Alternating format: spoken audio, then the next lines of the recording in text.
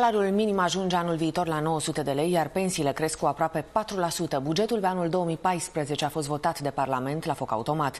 Deși s-au grăbit să-l adopte, aleșii vor fi nevoiți să-l dezbată din nou. Traian Băsescu a anunțat deja că îl va trimite înapoi la Parlament. Respins. Respins.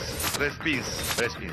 Puterea a făcut un adevărat tur de forță în Parlament. Cele 2000 de amendamente aduse la legea bugetului au fost respinse pe bandă rulantă. 11 nu se susține, 12 nu se susține, 13 nu se susține, 14 nu se susține, 15 nu se susține, 16 nu se susține, intrăm în anexa 5.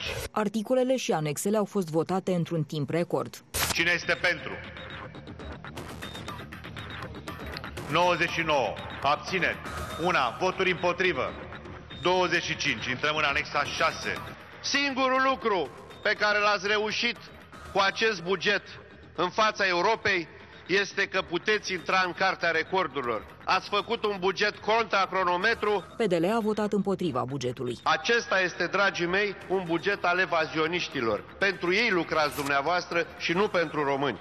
Bugetul pe 2014 prevede creșterea salariului minim pe economie la 900 de lei până la sfârșitul anului, creșterea pensiilor cu 3,76%, a salariilor profesorilor debutanți cu 10%, dar și creșterea subvențiilor pentru cămine cu 10%. Medicii rezidenți vor primi lunar burse în valoare de 150 de euro. Bugetul acesta a fost votat mai rapid decât alte bugete, pentru că este un buget care nu prevede tăieri.